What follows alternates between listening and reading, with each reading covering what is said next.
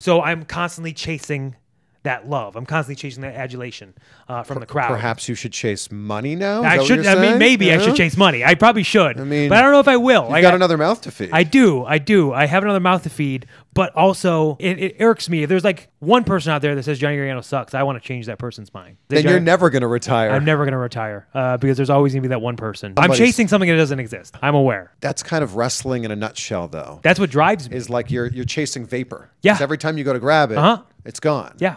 I know. I hope that this time period allows me to miss wrestling, reignites that passion I have for it. So when I come back, I'm fully ready to go 110% wherever that may be and give the, the Johnny Gargano uh, one last uh, fun little ride.